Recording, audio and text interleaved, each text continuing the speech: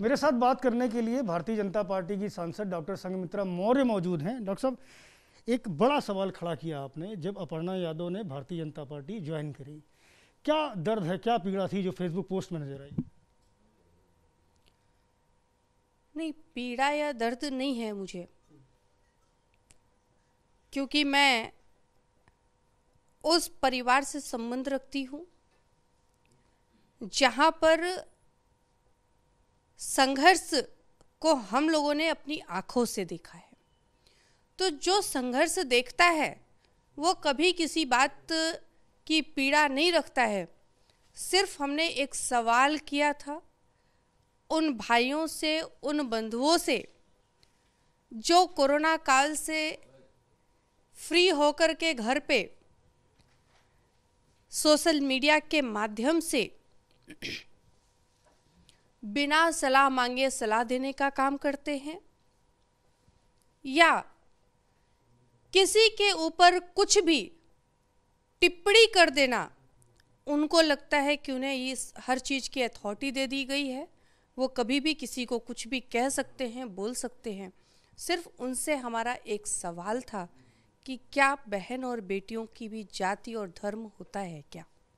लेकिन ये सवाल आपका आपके पार्टी के लोगों से ही था। कुछ जवाब मिला? पार्टी के लोगों से नहीं था। पार्टी के लोगों से हमारा सवाल नहीं था।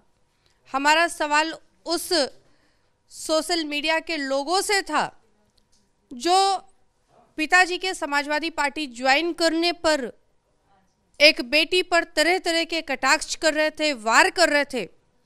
उन सोशल मीडिया के भाइयों से हमारा सवाल था। कि जब एक बेटी का पिता दूसरी पार्टी में जाता है तो बेटी पर वार होता है और वहीं पर एक बहू जब दूसरी पार्टी से आती है तो उसका स्वागत होता है। क्या बहन और बेटियों की भी जाति और धर्म होता है? मैंने उन कटाक्ष करने वालों पर से सवाल किया था, ना कि पार्टी से, क्योंकि पार्टी में बहन और बेटियों की जाति और धर्म नहीं, हम सब बहनों को एक नज़रिए से देखा जाता है, हम सबको एक समान रखा जाता है। लेकिन एक कटाक्ष आपने भी किया था, अपर्णा बिस्ट को और मुख्यमंत्री को लेकर के कि ये चचेरी बहन है। इसलिए मैंने ये सवाल पूछा कि आपकी पार्टी के नेताओं से ही आपका सवाल। नहीं पार्टी के नेताओं से मैंने फिर कहा कि पार्टी के नेताओं से नहीं जैसा कि सभी जानते तो आपका कटाक्ष था ये इतना कहें? बिल्कुल। भाजपा के लोगों पर कटाक्ष था।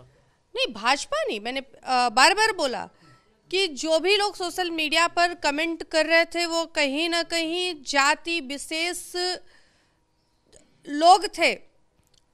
और जाति और वर्ग विशेष के लोग कटाक्ष कर रहे थे। तो इसलिए मेरा सवाल उन भाइयों से सिर्फ़ था। आपने एक चीज़ और कही, अगले और पिछड़े की। उस आपके जो फेसबुक पोस्ट में है, उसमें अगले और पिछड़ों की भी बात की। आपके पिताजी भी यही बात करके भारतीय जनता पार्टी छोड़ के गए, कैबिनेट मंत्री थे। साफ़ तौर पर उन्होंने ये आरोप लगाया कि पिछड़ों की लगातार उपेक्षा हुई, कई बार उस मुद्दे को उठाया, सुनवाई नहीं हुई।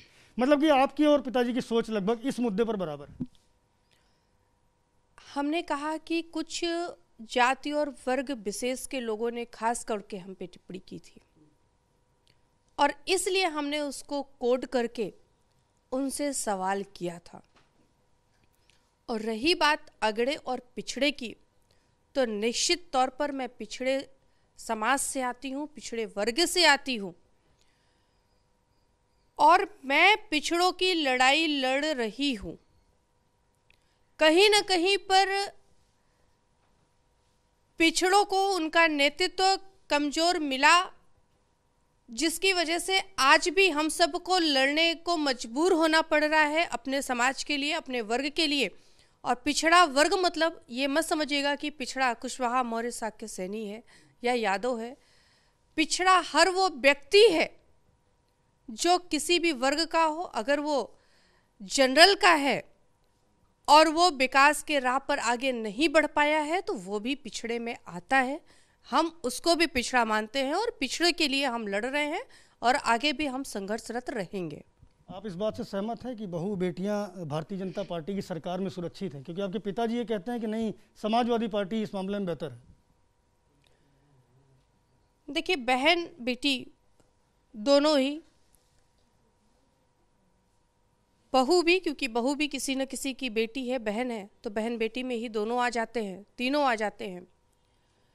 भारतीय जनता पार्टी में समानता है।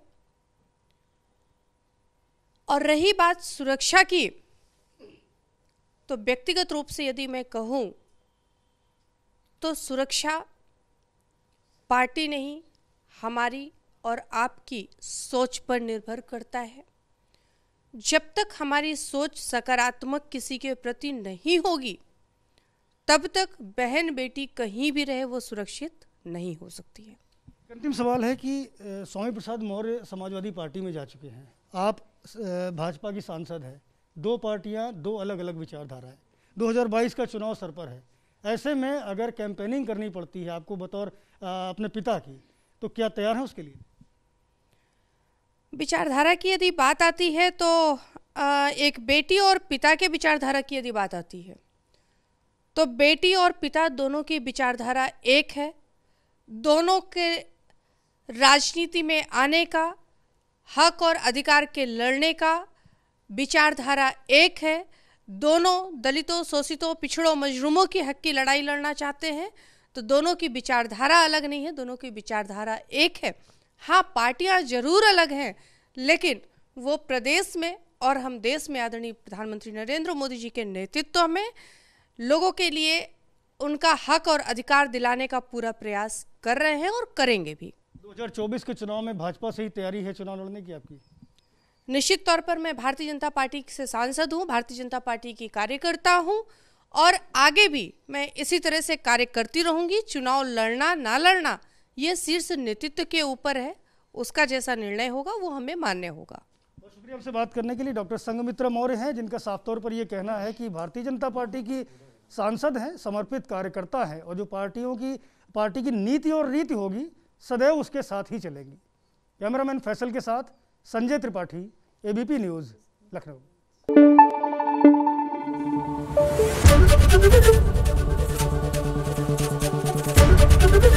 ABP News आपको रखे आगे।